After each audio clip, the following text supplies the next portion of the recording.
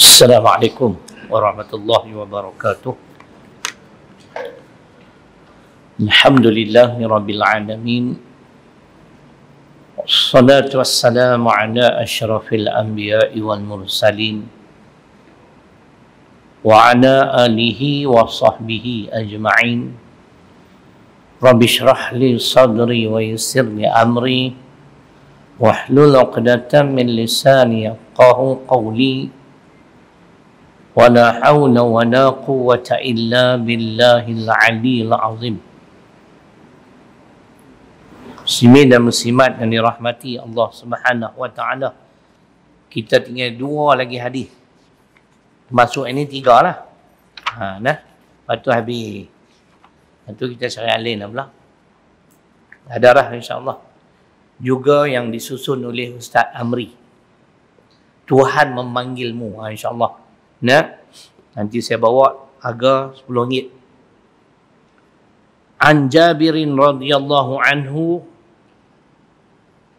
أن النبي صلى الله عليه وسلم مر عليه حمار قد وسم في وجهه فقال لعن الله الذي وسمه رواه مسلم maksudnya daripada Jabir radhiyallahu anhu bahawa seekor keldai kita kata keldai melalui berdekatan Nabi sallallahu alaihi wasallam dan dia telah diconting pada wajahnya.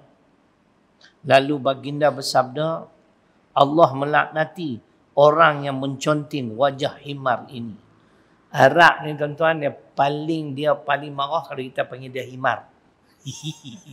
ha nah, Atlin tak apa hang panggil himar main baru penampak. Kalau dia dia cukup marah, dia sensitif dengan perkataan tu. Waktu saya duduk di Yaman tu, dia peduk keli di masjid. Orang tua tu dia suka melawak, dia panggil himar. Dia marah sungguh, macam nak berkelayu. Kan? Ha.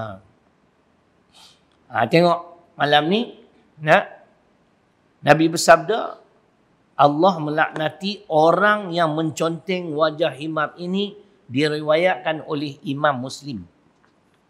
Urayan. Betapa agama Islam ini begitu halus ajarannya hingga komunikasi manusia sesama binatang pun turut diajar oleh Rasulullah sallallahu alaihi wasallam tu nak abang nah detailnya nah terperincinya agama kita ni agama yang cukup sempurna tak ada kekurangan tak ada cacat celah nah semua diajar oleh al-Quran mana dari Quran wa nazzalna 'alaikal kitab tibyana likulli syai' surah ke-16 surah An-Nahli pada ayat 89. Ini dalil tuan-tuan. Dan kami turunkan Al-Quran kata Allah untuk menjelaskan segala sesuatu. Apa kamu nak tahu? Hubungan antara bangsa? Kewajipan pemimpin? Kewajipan apa bapa? Wajipan anak-anak? Oh, makna semua siap dah. Ma farratna fil kitab min syai. Dalil kedua Al-An'am ayat 38. Kami tidak abaikan apa sesuatu pun dalam Quran. Bab apa kamu nak tahu? Ha. Tak ada dalam Quran diperjelaskan oleh hadis. Jadi Al-Quran dan As-Sunnah merupakan sumber utama umat Islam. Ya? Jadi jangan kita meragui tentang kesempurnaan kitab Al-Quran nah sampai cerita walaupun ini dikuat dengan hujah hadis nah ada ayat-ayat lain dalam Quran. Allah tak bagi kita buat zalim. Innallaha la yadhlimun nasa syai'a walakinna nasa anfusahum yadhlimun surah Yunus ayat 44 sesungguhnya Allah sebut. Nah. Aku tidak menzalimi. Siapa dia. Makhluk yang Allah cipta ni walaupun sedikit termasuk kita. Akan tetapi kamu yang menzalimi diri kamu sendiri. Itu Allah cerita. Dan Allah tak buat zalim kat kita. Dalam hadis riwayat Imam Muslim hadis ke-24 matan arba'in kita di 40 sampai Allah bagi tahu pada ya ibadi inni haramtu zulma ala nafsi wa ja'altuhu bainakum muharrama fala tazalamu. Ini menguatkan hujah Yunus 44. Saya bawa dalil hadis Imam Muslim. Wahai para hamba-hambaku, ha, sesungguhnya aku mengharamkan kezaliman ke atas diriku dan aku mengharamkan ia juga ke atas kamu, maka janganlah kamu zalim menzalimi. Jangan buat zalim. Bukan takat kita sama-sama kita manusia. Binatang buat tak boleh. Haiwan, eh, binatang, haiwan sama lah tu. Tumbuh-tumbuhan tak boleh. Ada hadis yang saya bertemu. Nabi melarang. Jangan kita patahkan ranting sesuatu pokok yang hidup. Kemudian ditinggal begitu saja. Dia tak bagi. Dia suruh patah bagi habis. Patah terkulai kan tu, tinggal. Esok keluar mana anak kaki terkulai. Ha, tu hadis Melayu. Ha. Faham? Hadis Nabi kata, kalau nak bagi patah, bagi patah lelok. Saya pernah jumpa. Nampak? Sampai ajak cara tu. Bila main perang, cara perang pula. Orang beribadah tak boleh bunuh. Terpinci wanita. Apa nama? Kanak-kanak. Tumbuh-tumbuhan, pokok-pokok ni tak boleh dimusnahkan. Tu dia. Kan? Dah duduk tengah naik elok dah musang king. Ha, nak pergi terbang. Apa sayang? Terkedah lah dulu. eh. Nah, ha, nak pergi hilangkan tu lah. Kata apa? Baik. Mana tuan siap usaha kita tak nampak mana ni? Aku duduk cari dia, tak cari orang lain. Ha. Betapa agama Islam ini begitu halus ajarannya hingga komunikasi manusia sesama binatang pun turut diajar oleh Rasulullah sallallahu alaihi wasallam. Dalil tadi saya nak tulislah. Saya pergi tempat lain boleh bawa model ni. Saya tak tulis pun. Surah An-Nahli ayat 89. Al-An'am ayat 38. Ada Ustaz dua-dua ayat tu ah? Tu ya. Ha. Ustaz Rushidan duk cek kira betul tu. Kalau saya tak betul, bukan saya tak betul, ustaz tak betul. Ha. Tak kata betul? Baik. Sebab tu dalam Islam Allah menyuruh, Allah memerintahkan manusia khususnya orang-orang yang beriman kalau kita rasa kita beriman. Ya ayyuhalladzina amanu udkhulu fis silmi kafa. Wahai orang beriman, masuklah kamu ke dalam Islam secara keseluruhannya amal semua sistem Islam, amal semua syariat Islam. Al-Baqarah 208. Wala tattabi'u khutuwati syaitan. Innahu lakum adu mubin. Jangan kamu ikut jejak langkah syaitan. Sesungguhnya syaitan itu musuh kamu yang nyata. Ayat ini pun nak dia Al-Baqarah 208. Jangan Islam kita tu sekerat-sekerat. Kita perlu mbak semayang apa semua cantik. Nah, tapi bab hubungan komunikasi dengan binatang tak ikut Quran. Tak ikut hadis. Tak betul. Ha, kita amal separuh-separuh. Nah tak boleh. Ayat tadi Al-Baqarah 208 tuan-tuan boleh rojok tafsir Profesor Mamuinus ayat tu pada muka surah 44. Jelas beliau mentafsirkan bahawasanya kita kena ikut semua syariat Islam. Bukan setengah syariat kita amalkan, setengah syariat kita tinggalkan. Tak boleh. Kena ikut semua. Keseluruhan. Baik. Malahan. Menyeksa binatang adalah perkara yang dilarang. Allah sebut tadi. Jangan buat zalim. Nah, dalam hadis yang ke-24. Malahan menyeksa binatang adalah perkara yang dilarang dan boleh menyebabkan seseorang itu dihumban ke dalam api neraka. Ha, itu dia. Ha, jangan kita rasa benda ni kecil lah. Nah, sekali lagi kita baca dari Quran lagi. Ini telah dikhabarkan oleh Nabi sallallahu alaihi wasallam dalam hadisnya yang menceritakan tentang wanita yang rajin beribadah pada waktu malam. Ha, waktu nah. Biasalah type ni kalau tak salah bukan manusia. Kan? Memang saya buat type ni kadang-kadang segeram ke di sekolah saya tu. Aku cek mesti ada silap. Aduh. Duk habak berapa kali dah. Kami ni dulu, masa kita kerja bank dulu tuan-tuan. Bank ni dia very very particular. Pertama tentang nama. Yang kedua IC nombor. Eh, IC nombor. Ha, ni, nombor IC. Dua tu dia cukup very, very particular. Nama orang jangan duk, duk jangan duk eja ikut dan. Syahrir. S-H-A-H-R-I-R. JPN, Mangkuk Hayum. Dia tulis Syahrir lah. Pak aku pun tak cek. Aku budak-budak lagi masa tu. Syahrir ni makna bulan tuan-tuan. Ha, dah tak? Ayat dalam surah Inna Anzalna tu lah. Ha? Lailatul Qadri khairun min alfi syahrin. Akulah tu. Bulan. Memang aku orang bulan. Dia pergi tulis syahrir. Ha. Eh, tak kena. Jadi bila saya kerja bank 16 tu, kami dua tu cukup berhati. Pasal apa tuan-tuan? Bank boleh kena saman. Kalau nama orang kita tukar, tergugur satu huruf, IC number silap ke apa, dia main nak buat sesuatu urusan, khususnya di antaranya bank ni dia ada simpanan tetap. Simpanan tetap lah kan. Ha, main cuk, tempoh mata dah sampai, dia pun main bawa resit tu. Ha. Ha. Tengok-tengok nama lain. Ha, ataupun IC number tak sama. Ha. Dia akan salahkan bank. Kan? Nampak tak? Dia ada hak lah, boleh saman. Oh, kena jaga benda tu. Tambahlah kita duk hantar berjuta-juta pula luar negara tu. Lagi kena cek apa nama syarikat tu. Syarikat Jebon bin Buruk Ma'iyah. Ha, eja lelok Jebon Buruk Ma'iyah. Dia akan boleh tak ikut dan lah. Saat ni kawan di sana tak dapat, dia saman. Oh, kacau.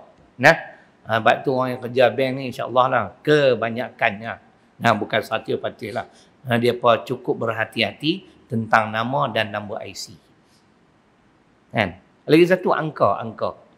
Ha, angka berapa ribu kan. Ha, nah. Ha, tambah zaman kita lah, saya tak pastilah kita tak jalan lama. Lah. Zaman dulu tuan-tuan, dia tulis Cina. Tulisan Cina. Empat ratus, uh, uh, uh, empat ratus sahaja. Dalam Cina, Mandarin. Angka empat kosong kosong kosong. Kan? Bank boleh reject. Dia panggil apa? Apa nama? Words and figures differ. Ada beza di antara perkataan dan uh, angka. Kali itu dia tu memang nak menipu pun haram jadah. DAP ya ha. my bank dekat kaunter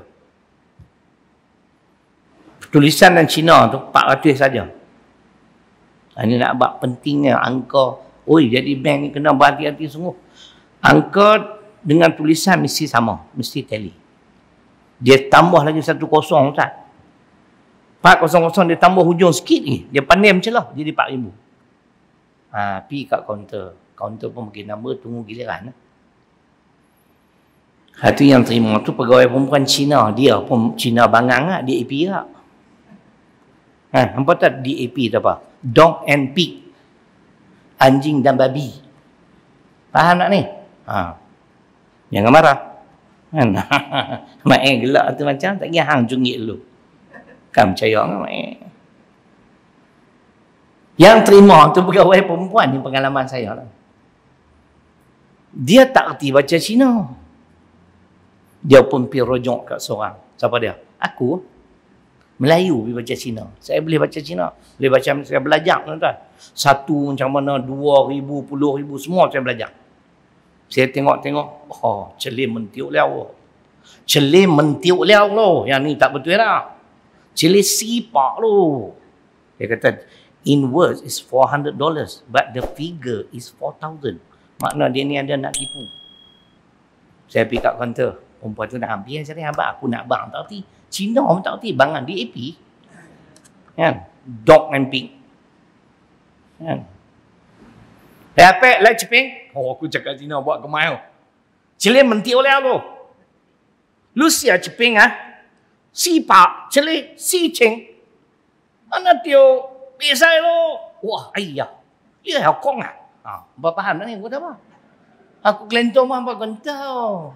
Tu masalah Melayu tak mau belajar. Yang hampa pandai mencarut lancau. Yang tu hampa pandai eh? Cibai. kan? oh, you boleh baca Cina ke dia kata. Oh, wa'uk lo. Aku belajar, aku kata. Dia balik, ni tak boleh. Ini memang tak boleh lulusnya. Wah, perempuan Cina tu punya sok. Thank you very much, Syarif. If not for you, mati aku, dia kata. Dia boleh kena saman.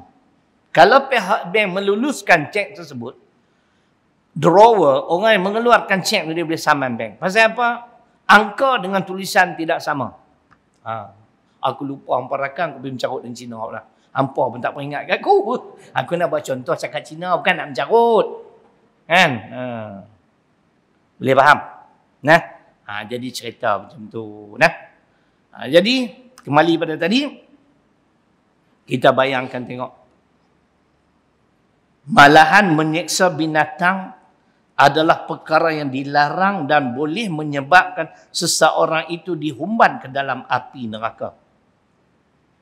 Tu. Ha. Ini baru binatang kalau orang.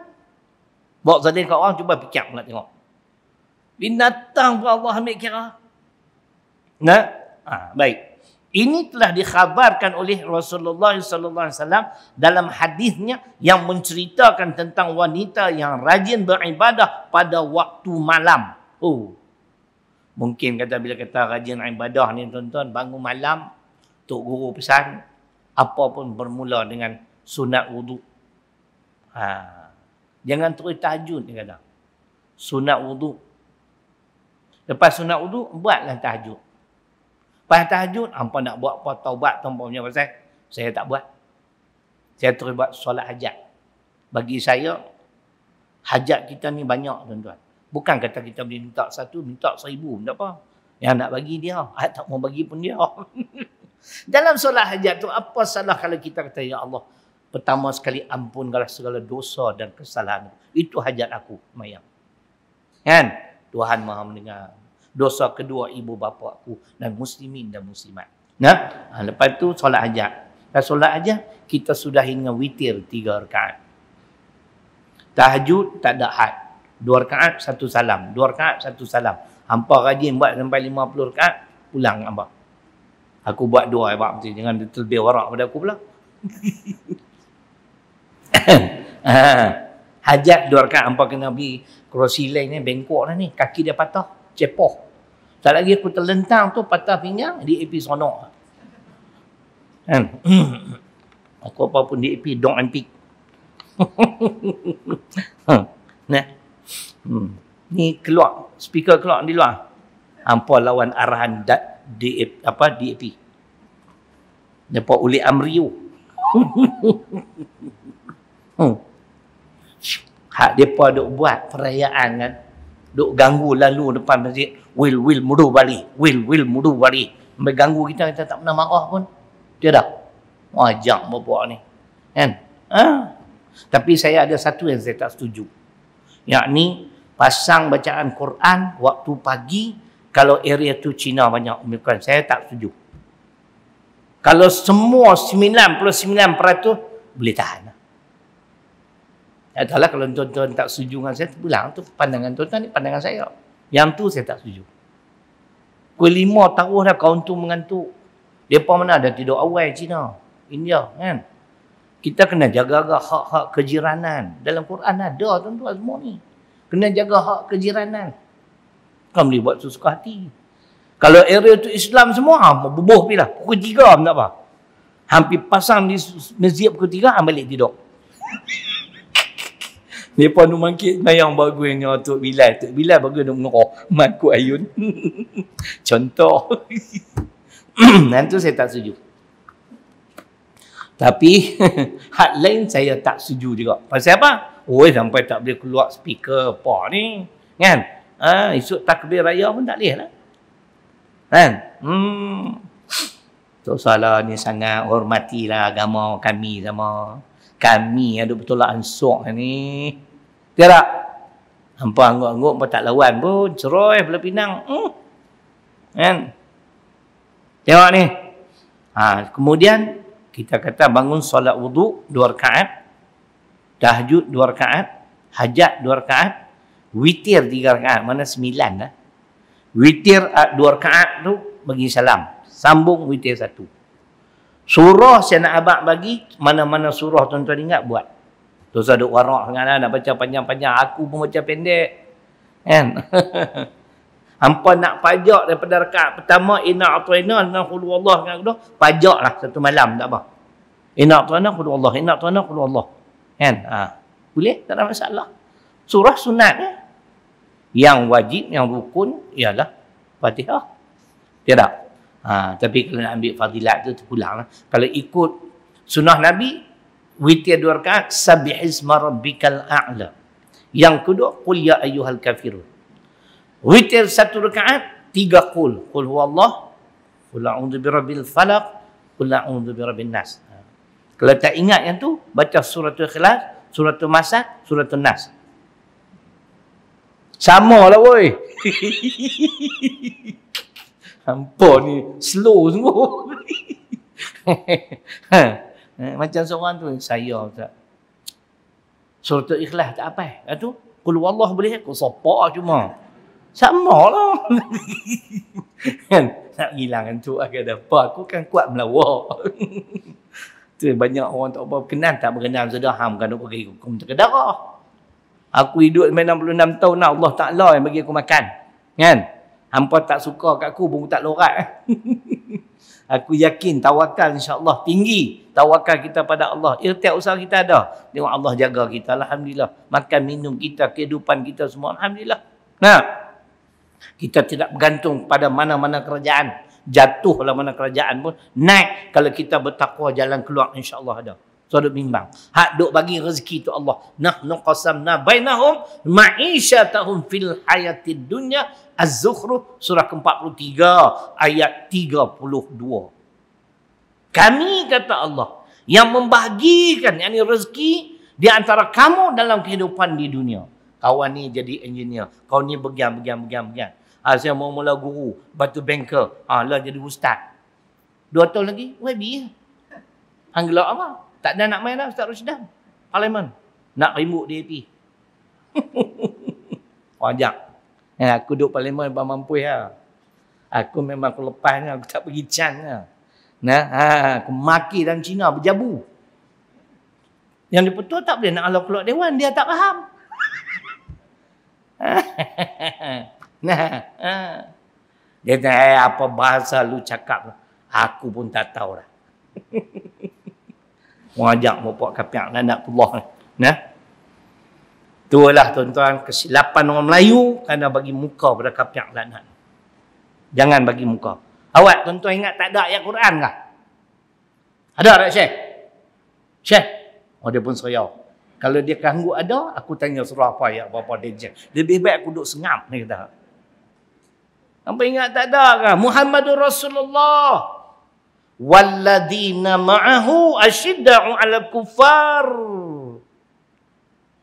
Al-Fatah surah ke-48 ayat terakhir ayat 29. Muhammad pesuruh Allah dan apa lagi?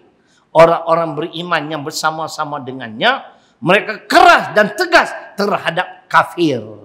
Ruhama ubainahum tetapi sesama orang mukmin mereka berkasih sayang, berlemah lembut. Ha, kita terbalik. Kan? Sama-sama Islam hentam kau-kau dengan kapiak penakut. Hei, kita lawan lawan apa mati syahid oi, usah duk bimbang ah.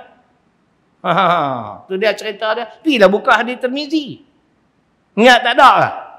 Oi, nak mati syahid bukan dia susah. Kan? Tu cerita. Boleh? Ha. Baik. Ha tu makna secara ringkasnya kalau nak solat malam. Mula dengan sunat wudu.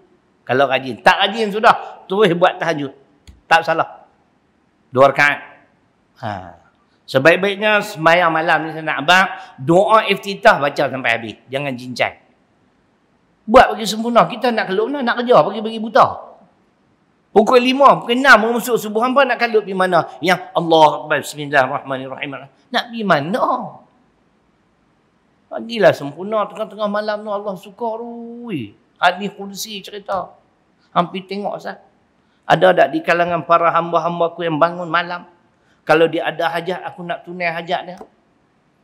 Nah, tapi kena faham lah, tak semua juga ditunai. Kan? Pasal apa? Wallahu ya'lamu wa antum la ta'lamun. Al-Baqarah 216. Dia tahu, kita tak tahu. Sebab tu yang kita minta banyak Allah tak makbul. Saya sendiri. Tak tahulah tak mana silap saya. Nah, tapi saya berpegang ayat tu. Dia tahu, aku tak tahu. Kalau aku tunai hajat hang, mungkin hang jadi lupa diri, hang sombong. Lebih baik aku susah bagi. Aku bagi pahala hang doa. Boleh? Ada sandaran Quran. Ustaz ni cakap insyaAllah ada Quran semua. Hak tadi kena keras dengan kapiak ada dua. At-Taubah 73, Al-Fatah 29. Kena keras. Dua golongan. Kapiak dan munafik jangan bagi muka. Ya ayuhan Nabi jahidil kufar wal munafiqin waglul alaihim wa ma'wahum jahannam wa bi'sal masir. At-Taubah surah ke-9 ayat 73. Wahai Muhammad sallallahu alaihi wasallam. Berjihadlah kamu terhadap kafir dan munafik serta keras dan tegas terhadap mereka. Mereka penghuni neraka jahanam seburuk-buruk tempat yang bakal mereka kembali. Ha. Kena keras. Kita pasal lembut jadi macam ni. Sampailah bolehlah bangun cakap Cina budak-budak ah. Hentam agung tengok. Bila kita kata freedom of speech kebebasan bersuara. Sebab tu saya tak mau komen sangat. Memang betul ya pun. Sebab dalam perlembagaan persekutuan perkara 10.1a memang ada freedom of speech. Ha tu kena faham. Hak dia untuk cakap menyatakan pandangan. Ha, esok bila kami cakap hampa jangan komen aku terajang mampu. Ha kasak lah sikit kan. Oh hampa boleh komen agung kami, awak kami tak boleh komen hampa. Ngap bapa hampa punya negeri. Kan? Ha. Malaysia ini bukan Melayu punya. Cina punya. India punya. Betul. Nama pun tanah Melayu. ini dengar Ustaz Syamsuri bahas. Awak jadi macam ni. Nama pun tanah Melayu. Dia kata tak tahu siapa cakap. dia tahu tu lah. Kan? Dia masuk politik. Tu pun dia kata orang hentam rapat. Tambah macam ni lagi banyak orang meluat. Kan? Tak apa, jangan Allah benci. Allah benci segala-galanya habis tuan-tuan. Nah, kalau kita insya-Allah kita bangun solat tahajud walaupun kita garang cakap kadang-kadang tak berlapik, saya yakin dan percaya wa ma yazalu abdi yataqarrabu ilayya bin nawafil hatta uhibbahu adi qudsi Imam Bukhari. Allah sayang oh, orang yang bangun malam ha, buat amal ibadah apa semua walaupun tak banyak biar konsisten. Nah ha, Allah sayang saya takut. Manusia benci saya tak heran. Bukan cakap besar 66 tahun dah aku duduk. Sikit tak heran insyaallah tak takut. Kalau takut aku tak cakap lah dari dulu bela macam ni. Yang tambah dulu zaman Mahathir jadi Perdana Menteri. Apa saya tak kata? Dia eh. Pernah kena tangkap? Allah tak izin Kena tengok ayat Quran. Al-Baqarah 102. Al-Baqarah 255. Yakin dengan Quran. Mubarak ni hanya dengan izin Allah saja berlaku. Begitu juga manfaat. Satu dunia nak tolong kita. Allah tak izin. Tak berlaku. Faham? Bila Allah izin baru berlaku. Al-Baqarah 102 tentang mudarat. Al-Baqarah 255 tentang manfaat. Itu ayat. Kita kena pegang cukup-cukup. Yakin dengan Quran. Jangan ada sedikit keraguan. Nah, ha ni perempuan ni kuat beribadah waktu malam. Nah, Masya Allah. Tak tahulah betul ke tidak dulu ada apa? Rabi'atul Adawiyah. Ha, kita duduk dengar kan sejarah kan. Wanita yang alim. Nah, kuat beribadah saya tak boleh bayang. Ish. Oh, hebatnya. Nah, ha, bukan nak suruh bangkit awal tu sah tuan-tuan. Kita kalau tak pernah bangun awal ni dengan duduk terbiak. Tambah tuan-tuan nak pergi kerja. Kan? Buat takat kita mampu. Ada hadis yang menyebut. Nabi larang kita beribadah sampai jadi jemu. Jangan. Tapi yang Nabi ajak di antaranya ialah apa nama? Khairul a'mal adwamuha wa in qalla. Sebaik-baik amalan, amalan yang berterusan walaupun sedikit. Hadis Bukhari. Buatlah. Tuan-tuan tak boleh buat sembilan rakaat, saya syorkan buat tiga. Sudah. Dua tahajud, satu witir. Cukup. Berapa belas minit? Lima empat puluh lima, lima empat puluh. sampai 5.55, 15 minit dan. Ha. Kan? Dengar laungan azan, jangan tak semayang sunat subuh. Rakatul fajri khairun minad dunya wa ma fiha. Hadis Muslim. Semayang dua rakaat sunat subuh ganjaran pahala lebih baik pada dunia dan segala isinya. So boleh-bolehnya fardu subuh semayang berjemaah. Apa kelebihannya? Hadis sebut seolah-olah dia beribadah di sepanjang malam. Dia mulai di sepanjang malam apabila dia solat subuh berjemaah. Segan nak main surah masjid, semayang kat rumah atau dengan anak-anak. Nah, bagi peluang bini kita jadi makmum. Bang, jadi imam. Aku tak biasa, tak apa. Saya naik ini dah. Boleh? Bini pula jadi imam. ha. Nak cari pahala bukan dia susah tuan-tuan senang. Tambah kalau pergi gelap-gelap jalan kaki pergi masjid pula setiap langkah tu semua dia ambil kira hebat. Kan? Masa duduk di Yaman subuh aku tak pergi. Tahu kenapa? Bukan takut. Sejuk. Sejuk sungguh. Kena musim sejuk. Ya Rabbi tak rusdan. Ketak ni nak keluar ni. Pakai sweater. Nama sweater. Baju sejuk tik minyak apa. Duk sejuk sampai tu. Lepas tu nak basuh kaki pula. Aduh, macam dengan air aku semayang dalam rumah. Allah Tapi semayang dengan kawan-kawan lah. Hak duduk serumah tu. Jangan tuan-tuan rugi. Ya? Sunat subuh jangan tinggal. Tengok wanita ni. Punya hebat. Ya? Dimasukkan ke dalam api neraka kerana dosa menyeksa kucing dengan mengurung kucing tersebut dan tidak memberi makan dan minum kepadanya. Kalau tak mau bela, kalau nak bela kucing, kena buat ni. Tak mau, tak mampu jangan nak bela. Saya tak bela. Tapi kucing satu kampung tu semua main rumah saya. Dia tahu dah aku ni orang baik. Kan? Yang tak tahu tu hampa ya. Hampa tu kata aku jahat. Kucing ni tuan-tuan. Sampai saya panggil semua. Tengok saya keluar rumah. Meneru. Ha, duduk mana orang. Halah, lari balik. Dengan makan. Pagi selewat-lewatnya pukul 8.30 lah. Ha. Kadang-kadang awal pukul 8 bagi dah. Oi, duk ada kat 20 ekor. Ada yang mati kena gelek lah apa semua. Pun kenal lah. Kita keluar-keluar tu ambu. Duk tunggu dah depan rumah. Saya kata pi belakang. Loh dia kerti Melayu. Pi lari ber-ber-ber belakang. Kan? Ha. Hatu tunggu-tunggu aku tak main. Dia pun main balik. Dia kata tadi pergi suruh pergi belakang. Hutan nantilah saya cari kasut tak jumpa. Balul. Saya selalu cakap mereka, panggil nama mereka. Kalau orange saya panggil rain. tam saya panggil tam. Kan? Ada sekok tu yang tu memang best. Nah, ha, mak dia dulu saya belah.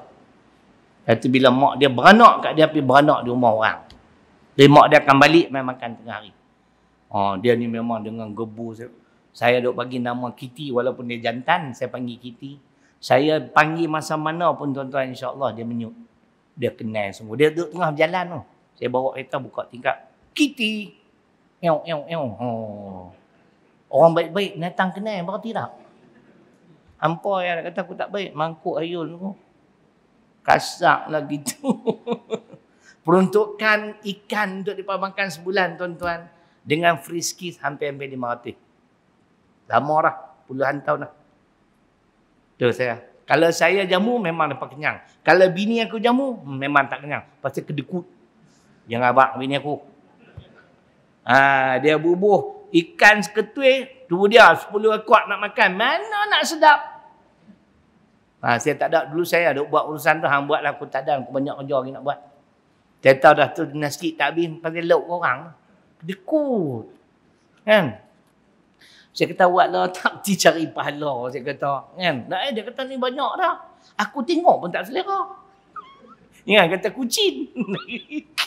kan? Ni nak cerita bela kucing. Ah ni sampai tak dan apa-apa ya Allah. Curi sekok ikan hambat sekampung. Terajang kau tu sampai tak ada nak mengucap dua kali syahadah. Kan? Eh, saya jamu lagi ada. Dan semua tuan-tuan, nanti tengok. Semua kucing liak. Satu hari tu tuan-tuan, anjing main duduk rumah saya dekat dua bulan. Anjing. Dia kenal ni.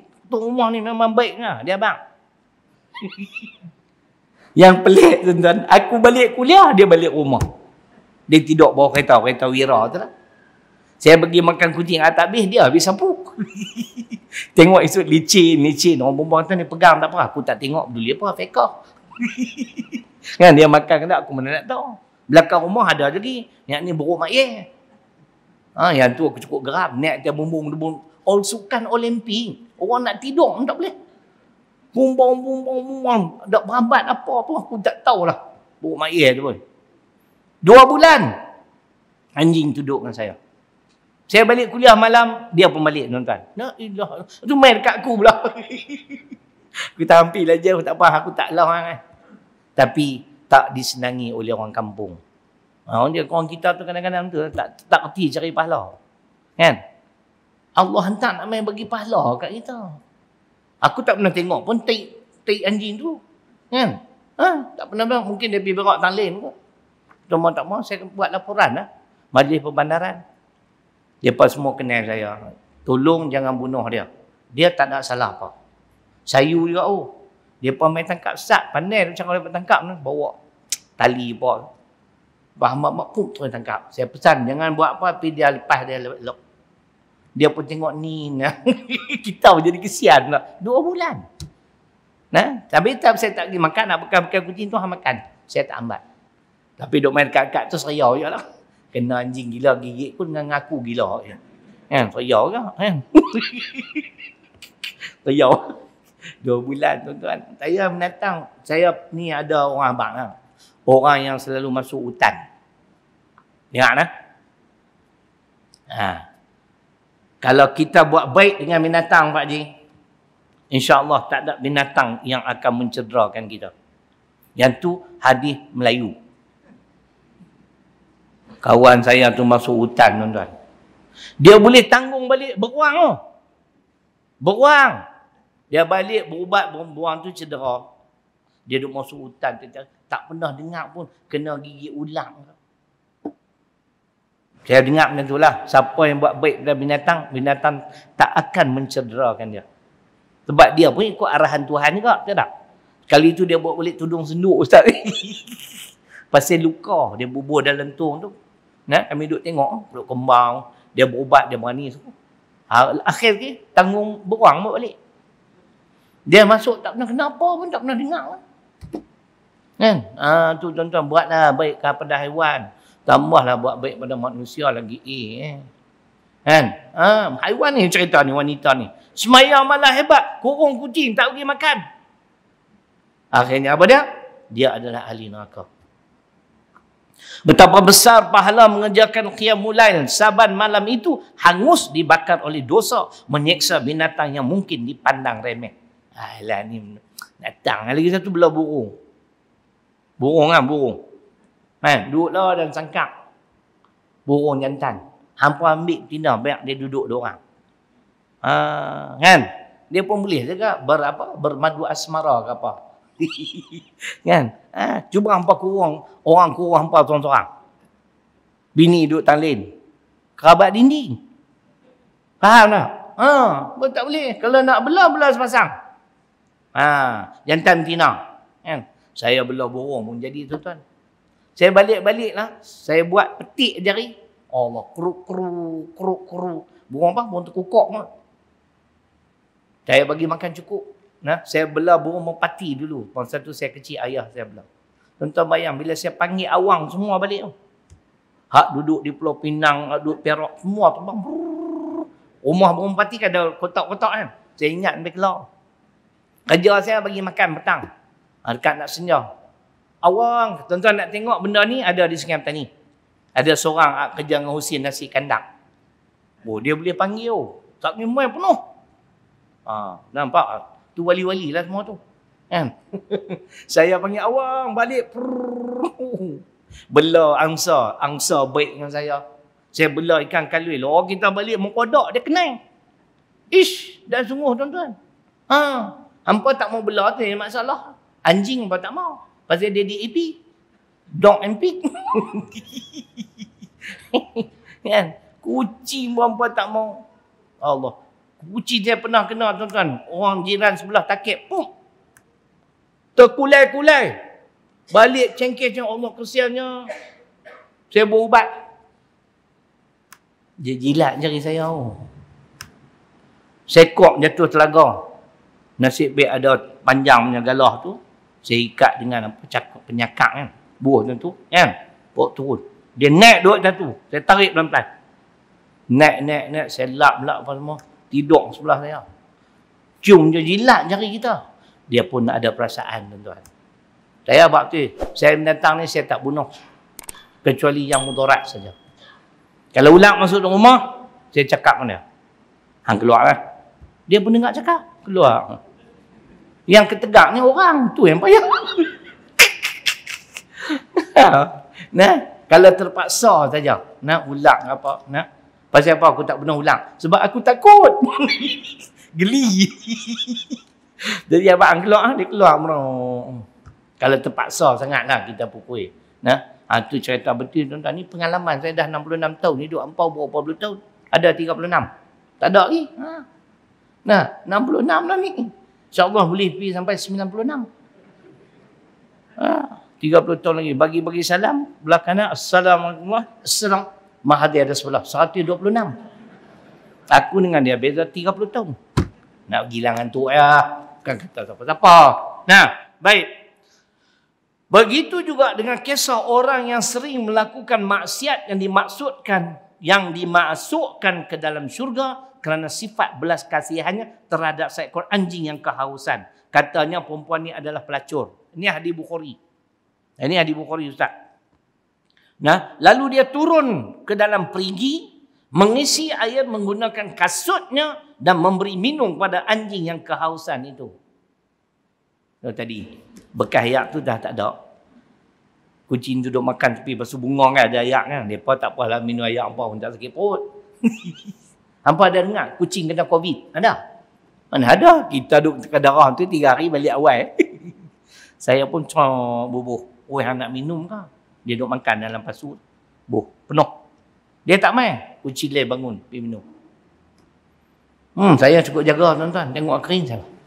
Nah, ha, cerita dah. Baik, tapi yang kemeluat satu, pun tak mau makan secara berjemaah. Tak mau. Dia nak nak makan sesuatu. Aku sakit hati kadang-kadang. Kita beli dah talam kat mereka. Makanlah secara berjemaah kan. Allahumma barik lana fima. tak mau. yang tu yang kecamuk kata. Eh, belakang rumah saya tu ada apa simen panjang. Buat sampai 15 tumpuk. Ha, depa syok makan macam tu. Makan tak tak eh sikit. Dah lah aku bagi makan ikan kayu pun ingat murah lah. Sebulan 500 oh, low saja. ha, tapi Allah ganti kot lain alhamdulillah sihat. Dan ingatan masih kuat. Ya. Ha, setiap usaha mai lah. Sab sab Eh, gelak lelah sikit. Tak apa, tak pakai mah, tak ada sedadah, pergi balik. Arahan, tiap usaha. Aku bawa orang sendiri. aku takut aku pergi nambat. Kau boleh kira ni SOP. Kan? Ha. Ha, tu tuan-tuan. Akhirnya wanita tersebut dimasukkan ke dalam syurga. Mai saya nak ajak sikit. Bukan nak ajak, nak abang sikit. Kita tadi mula 7.40. Okey. Tuan dalam sebuah hadis riwayat Imam Muslim. Qad aflaha man aslam. Sesungguhnya beruntunglah sesiapa yang Islam. Baik nah, dengar elok nah. Kisah wanita ni seorang pelacur.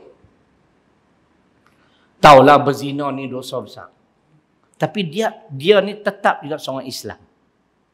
Akidah dia tak rosak. Contoh. Dia mengaku semayang wajib, puasa wajib, zina tu haram. Dia mengaku tapi dia buat juga. Dia adalah orang Islam yang rendah iman, yang lemah iman. Minta maaf. Tuan-tuan. Sebab tu perkataan yang dia sebut kafir yang jujur lebih baik daripada Islam yang perasuah. Tak betul tuan-tuan. Kalau Nabi sendiri iktiraf qad aflaha man aslam. Sesungguhnya beruntunglah sesiapa yang Islam. Selagi saya Islam, walaupun tak semayang, puasa, zakat, haji, berzina, berjudi, bunuh orang. Islam saya tetap selamat. Akidah saya tetap betul. Saya mengaku tapi saya lemah iman. Saya langgap perintah Tuhan. Tuan-tuan. Setelah menjalani hukuman dalam neraka. InsyaAllah saya akan dimasukkan ke dalam syurga. Kalau kapiak hang jujur macam mana pun kapiak hang tak masuk syurga. Faham tak? Amboi sampai nak ambil hati orang kapiak pi buat tajuk forum macam tu. Ni kita boleh baca dalil dalil hadis riwayat Imam Bukhari dan Muslim. Ada seorang hamba Allah ni orang yang terakhir masuk syurga. Dia dikeluarkan daripada neraka kerana dia tetap Islam. Faham? Dia tak murtad. Akidah dia tak rosak. Faham tak? Cuma dia fasik. Dia iman dia lemah. Semayang wajib tak? Wajib. Judi haram tak? Haram. Dia buat judi. Dia langgar juga. Itu fasik. Tapi oleh kerana Islam dia tak rosak. Allah kata, keluarlah kamu daripada neraka ini, masuklah ke dalam syurga aku. Eh, dia kata, dia duk rasa macam Tuhan pilih dia. Biar betul dia kata. Takkan aku ni dah lama dah kena hukuman dalam neraka, dah boleh masuk syurga lagi? Dah, ada tempat ke bagiku? Ha, saya cek dengan seorang ustaz di Indonesia. Dulu kerja sekolah saya. Saya telefon yang ustaz tu cek tak hadis ni sahih ke tak? Bukhari Muslim. Ya, siap dia hantar dalam dalam dalam handphone saya ada semua matan-matan dia. Tapi saya tak segan nak apa panjang hadis tu. Dia kata kat Tuhan, adakah tempat bagiku dalam syurga? Hampir tengok. Tempat yang kusediakan bagi hang ni, setelah hang menjalani hukuman dalam neraka, keluasan syurga yang aku sediakan kat hang, sepuluh kali ganda lebih luas daripada bumi yang hang pernah duduk. Tu. Siapa dia ni? Orang Islam yang lemah iman. Tapi dia tetap Islam, dia terpaksa menjalani hukuman dalam neraka terlebih dahulu. Setelah selesai hukuman, dia masuk syurga tuan-tuan dengan rahmat Allah. Jadi tak betul bila kita menyatakan kafir yang jujur lebih baik pada Islam yang perasuah. Memang tak betul. Kapiak sampai bila pun tak betul. Kapiak sampai bila pun dia tak akan masuk syurga. Faham tak ni? Dia dah rosak akidah. Kau ni tak rosak akidah. Dia jahat. Dia perasuah. Tapi kita tak maulah pemimpin kaki rasuah. Faham tak Rusdan? Ha, yang tu kena bahas lain. Bukan saya menyokong. Oh, pemimpin rasuah pun apa. Aku tak mau. Kita mau pemimpin yang amanah. Kan? Ha, itu cerdas. Faham? Amanah. Ha? La ilah Allah. Hampa pusing kau lain. Yang tu pati mak sabu. Tak apalah kawan aku bebikan dia lah tu. Inna Allah ya'murukum antu adul amanati ila ahliha. An-Nisa 58 idza wusidal amru ila ghairi ahlihi fantaziri sa'ah. Hadis bukhari. Kalau satu jawatan kita tak bagi kepada orang ahlinya yang ada sifat amanah hancur negara hancur masyarakat. Kita nak pemimpin yang adil yang amanah yang sabar. Ha, macam-macam lah lagi. Nampak tak? Jadi kita nak habaq. Selama mana seseorang itu Islam sampai ke akhir hayat dia walaupun dia fasik dia melanggar perintah Tuhan dia masuk neraka tapi nak bak nak mau kan masuk neraka? Pasal apa tuan-tuan? Dia ada dua. Kedua-dua ni satu hadis satu Quran. Hadis menyebut panasnya neraka Allah 70 kali panas api dunia. Tu hadis kalau tak silap Bukhari atau Muslim. Yang kedua satu hari sesaan dalam neraka Allah di hari akhirat bersamaan bersamaan Seribu tahun di dunia. Dari Quran Al-Hajj 47. Tulis. Isu anak cucu tanya apa. Ha. Mampukah 70 kali hangat ni? Api lighter pun tak boleh pergi dah. Kan? Bapak pernah dengar cerita dah. Orang tak pernah semayang berjemaah. Bini dia suruh pergi. Kan? Dia pergi semayang. Dia kata bukan susah bang. Ikut imam. Apa imam buat? Abang buat. Dia pun pi pi pi sampai tiga setengah nak semayang sak. Dia pi tiga setengah. Dah lah tak pernah pergi semayang lima. Action dah. Dia tak eh. Seorang pun tak main lagi. Murtad Nabi. Kau buat ni? Amboi. Hang tu baru nak hari ni. Lepas tu sementara, sementara nak tunggu orang tak ada. Dia hisap curut. Saat-saat curut sekat jalan. Kat nak masuk kot. Dia pun padam curut. Buh tepi telinga. Tak habis kan. Kan? Buat tepi telinga. Naik masuk semayang. Bini dia kata, imam buat apa? Imam buat. Bukan susah. Dia semayang belakang imam. Dekat, dekat depan imam tu ada kipas. Kipas tu talak kat dia. Menyala balik curut tu. Duk pasal telinga panas, telinga panas. tak ustaz kan? tak apa lagi nama-nama kuih panas dia kelepiak. Kelepiak sebab masuk dalam kintu imam. Kan? Tok imam duk tahiyat at-tahiyat. Tuih, oh angat ni. Tok imam terkejut, lari keluar kok tingkat masjid. Dia pun lari keluar sama lah. Dah bini dia kata, ikut apa Tok imam buat. Ni bukan hadis. Yang ni cerita Husam Badarudin. Kita kalau tak tahu, jangan buat kepala tahu. Faham tak lu? Jangan duk cakap. Nanti orang tahu, kata kita tak tahu. Kita tak tahu, orang tahu, kita tak tahu. Bukan ajak tak mana pun. Duk abang itu lah. Jangan duk abang ada. Allah live pula ada. Lupa saya. Dia mampu tak marah aku insyaAllah. Dia peminat aku sejak umur 16 tahun. 16 tahun dia pergi dengar macam ceramah. Pak dia kata minat semua dengan ustaz. Tu dia ceramah keluar macam aku. dia forum dana ni kalau hampa nak pergi sedap. Hampa jemput dia, Syarkawi, Nana Tanjung.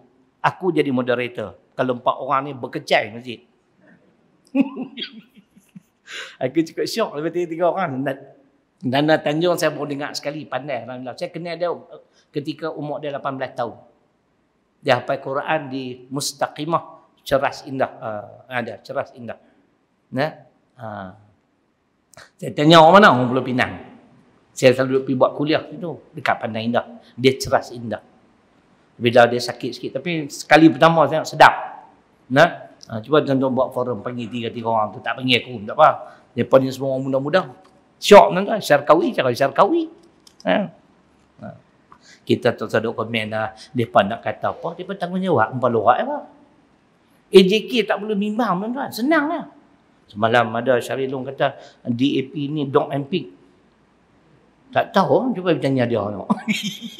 Empat pelepas diri ni tu sudah. Bukan dia susah sangat. Nah, kami mana tahu dia nak kata macam tu. Kan? Kalau kami tahu, kami tak jemput dah lah. Ha. Yang tu pun nak kena ajak. Payah. Macam Husam cerita lah. Orang tua tu. Ni aku cerita Husam lah. Dia bukan darjah apa. Cerita-cerita lah. Ngajak kitab baru mazi. Bila nak habis? Berapa puluh jilid? Dia kata orang tua ni nak balik pada Kuala Lumpur. Nak pergi Kuala Nerang. Mak uh, uh, nak dia kata. Nek kapal terbang. Nek duduk terus lah. Pak tu sedut bimbang. Dia, nek, dia duduk kelas satu. Dia patut nak ekonomi kelas lah belakang. Dia pamer cek-cek apa semua. Pramugari meh. Allah pak cik. Pak cik kena duduk belakang ni dia kata. Yang ni kelas pertama dah eh, anak abang naik terus duduk.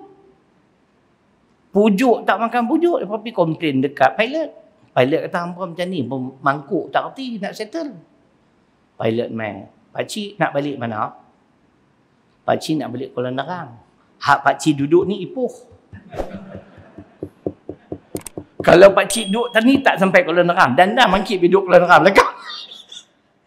ha, Pilot kata apa ni betul mangkuk punya pramugari. Harap lawa yang bodoh. Piang. Yang tu aku tambah. Itu cerita usam. Sonok. Nak bagi hilang tu ada, ada mapurak sikit. Bosong. Nah, ha, baik. Keikhlasannya membantu anjing yang kehausan dan usahanya memberi minum itu melayakkan untuk masuk ke syurga. Sedangkan dia seorang pelacur. Ikhlas. Dia Islam. Tapi ingat satu hari di negeri akhirat dalam neraka Allah seribu tahun di dunia tuan-tuan kita tak mampu. Kepanasan api neraka tujuh puluh kali ganda. Allah Akbar tuan-tuan. Api dunia pun tak tahan lah. Tidak kena gurih api lepiak kan ha usaha yang dilihat remeh di sisi manusia tetapi besar di sisi Allah. Ini ada ayat. Nah? Walaupun ayat ini dikaitkan dengan kisah fitnah terhadap Aisyah tetapi istimbat hukum, hukum yang dikeluarkan daripada ayat ini ada. Makna ada hukum yang dikeluarkan daripada ayat ini adalah tentang benda tu kita nampak sikit tetapi besar di sisi Allah sekiranya ikhlas. Kita sedekah seringgit, kau ni infak satu ringgit, kita nampak kita kuman. Tak, hak satu ringgit mungkin riak. Hak seringgit hak ni elok. Besar di sisi Allah. An-Nur ayat 15. Nah, saya baca, saya lupa dah ayat ni. وَتَحْسَبُونَهُ هَيِّنًا وَهُوَ عِنْدَ اللَّهِ عَظِيمٌ. Dan bermaksud, dan kamu pula menyangkanya perkara kecil, padahal ia pada sisi hukum Allah adalah perkara yang besar dosanya. Kisah fitnah tanah Aisyah tapi ada ulama yang mengambil ayat ni dikeluarkan hukum sesuatu yang kita buat kalau ikhlas kerana Allah walaupun kecil di sisi pandangan manusia sebagai contoh sedekah tadi. Orang pakai wakaf satu ringgit seribu, kita sepuluh ringgit. Kita kerana Allah. Di sisi Allah besar, tuan-tuan. Nah, An-Nur 15. Usaha yang dilihat remeh di sisi manusia tetapi besar di sisi Allah. Baik. Antara ajaran Islam terhadap komunikasi dengan binatang juga adalah supaya menyempurnakan sembelihan dengan menajamkan pisau sembelihan dan tidak mengasari binatang sembelihan. Ayat inilah almarhum Tuan Guru Haji Soleh Musa baca Al-Anbiya ayat 17. Wa ma arsalnaka illa rahmatan lil alamin. Tidaklah kami tidaklah kami utuskan engkau Muhammad sallallahu alaihi wasallam melainkan membawa rahmat pada seluruh alam. Di antaranya rahmat yang dibawa oleh baginda SAW soal penyembelihan tuan-tuan. Sebelum kedatangan Islam, tak tahulah macam mana mereka bunuh binatang nak makan binatang tak katuk dengan batu ke apa. Tapi bila Islam mai, Allah ajak Nabi mesti tajamkan pisau. Itu rahmat tuan-tuan. Kan? Sekali tarik perut. Tengok lembu pun tergolek. Senyum pula tu. Atau senyum. Mati dalam iman dah. Kan? Ha? Mereka dulu tak tahu buat macam mana. Zalim tuan-tuan. Mungkin ambil batu katuk, katuk, katuk. Nak terkedah lembu. Lagi tak mati duk katuk. Seksa tak ada. Tengok ni kata rahmat tuan-tuan. Faham taklah? Nah, Al-Anbiya 107. Nah, dan tidaklah kami utuskan di kau Muhammad sallallahu alaihi wasallam melainkan membawa rahmat kepada seluruh alam. Baik, saya nak hurai sikit rahmat ni luas. Kalau tadi haiwan, manusia tak boleh buat zalim, haiwan tak boleh buat zalim, tumbuh-tumbuhan pun tak boleh buat sesuka hati. Tetapi rahmat yang dihuraikan oleh seorang syekh daripada Syria, orang Arab hurai. Nah, Apakah rahmat yang beliau bawa sebagai satu rahmat? Pertamanya tuan-tuan, rahmat yang dibawa oleh Nabi SAW, beliau mengajar kita bagaimana menyembah Allah. Itu rahmat. Ha. Bagaimana kita nak menyembah Allah? Kalau dia tak ajak, kita nak buat macam Yang kedua, beliau juga mengajar kita tentang iman. Jibril mai ajak rukun iman dan perkara. Dia ajak kat kita. Itu rahmat. Beriman pada Allah, beriman pada kitab, malaikat, rasul, apa nama, hari kiamat, ada pembalasan dan sebagainya. Beriman juga pada kodok kodar. Ha. Bila diajak, tu rahmat Pak Haji. Pasal apa? Contoh kodok kodar. Saya buat kuliah tak ramai. Adalah 50 orang. Ustaz Azhar Idrus. Seribu orang. Tu dia. Saya tak iri hati. Sebab diajak dah. Kodok kodar. Semua ni ketentuan Allah. Ustaz, ustaz pun dia berbeza cara cara persembahannya. Nak apa cara dia menyampaikan majlis ilmu kan tak sama. Kan? Kita duk iri hati. Zahidru tu bukan mengaji tak mana pun. Aku ni mengaji seberang laut, dia mengaji seberang sungai ya. Hampa duk pi buat apa? Orang macam ni dikhawatiri dia tak terima qada qadar berdasarkan An-Nisa 32. Kalau sembanglah aku ada dalil. Sembang apa? wala tatamanna ma fadalallahu bi ba'dakum ala ba'd dan janganlah kamu iri hati terhadap kurniaan Allah terhadap seseorang melebihi yang lain ha tak sama dia dia bilang tu nurah Allah kita boleh sikit-sikit kita buat cara ni duk pi kempen tok sapi mengaji kat ustaz ni orang nak suruh mengaji kat dia tak betul qada qada hal tak tahu mana Allah dah tentukan. Ustaz ni tak payah pergi seberang laut. Seberang sungai lah. Sungai pun tak mandi. Kenapa? Tak kerti berenang. ya. Tapi penyampaiannya kemah jelas. Han dia iri hati. Mana han tak terima kodok Dia tak. Ha. Tu kata rahmat. Dia ajar kita tentang iman. Beriman pada rukun iman. Yang ketiga, beliau mengajar kita tentang Islam wala tamutunna illa wa antum muslimun. Dan jangan kamu mati melainkan dalam keadaan Islam. Yang tadi, selama mana akidah seseorang itu tak rosak, jahat, jemuan, jebon macam mana sekalipun, dia tak kekal dalam neraka. Sebab Islam dia selamat. Itu rahmat. Nah.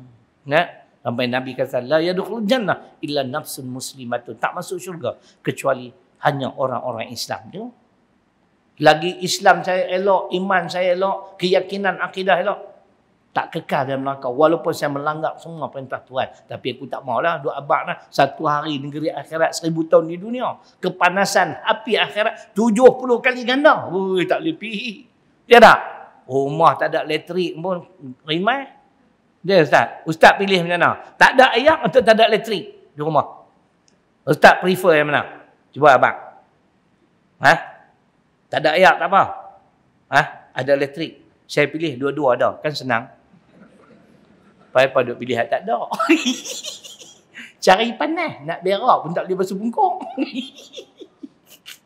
kan? Semua tu nikmat tuan-tuan. Nah, ah, hargailah nikmat Tuhan bagi kat kita. Nah, ah, itu cerita. Kita jaga Islam kita elok-elok. Jangan kita mati melainkan dalam keadaan Islam. Itu pesanan untuk kita. Pesanan Nabi Ibrahim dan Nabi Yaakob dalam Al-Baqarah 132. Fala tamutunna illa wa antum muslimun kepada anak-anak mereka. Nah, betapa halusnya nilai-nilai yang diajar Islam jika menconting wajah binatang. Nah, ha. Jika menconting wajah binatang yang tidak menyakitkan pun dilaknat oleh Allah, maka tentulah menyakitinya lebih dahsyat mengundang kemurkaannya. Kurung kucing tak bagi makan. Bagi makan tak apa tuan-tuan. Kan? Ha, burung bagi-bagi makan. Bagi elok. Tak ada masalah. Belah. Nah, kalau tak mampu, tak payah. Bebas kan apa. Nah, ha, jadi itulah di antara kita kita tak dapat bayang Islam begitu terperinci ajarannya. Nah, ha, jadi tanda tani dulu insya-Allah. Jadi kalau tuan-tuan nak tengok produk sabun basuh, ha ni kawan kita, setiausaha beli sabun serbuk tu kira. Ha? Ha tu dia. Saya lagi beli lagi satu dah. Eh dah dua bulan tak beli tekan tak habis. Ha? ha sembang kemai. Aku sampai bawa sejadah ni tu lah punya pasal. Aku pun saya awak kena hambat keluar. Jangan marah. ha, tuan-tuan nak tengok produk-produk lagi, tengok saya ada kerja lagi insyaAllah. Nah, jadi sekadar ribuan kemaafan. Ha, saya hanya bergurau saja. Tak ada niat nak bagi siapa-siapa marah itu kelemahan yang ada pada saya. Kita tangguh majlis dengan membaca tasbih kafarah surat al Subhanakallah. Alhamdulillah. Bismillahirrahmanirrahim. Alhamdulillahirrabbilalamin. والصلاة والسلام على أشرف الأنبياء والمرسلين وعلى آله وصحبه أجمعين اللهم اغفر لنا ذنوبنا ولوالدينا وارحمهما كما ربيانا صغيرا اللهم فكنا في الدين وعلمنا التأويل ربنا آتنا في الدنيا حسنة وفي الآخرة حسنة وقنا عذاب النار والحمد لله رب العالمين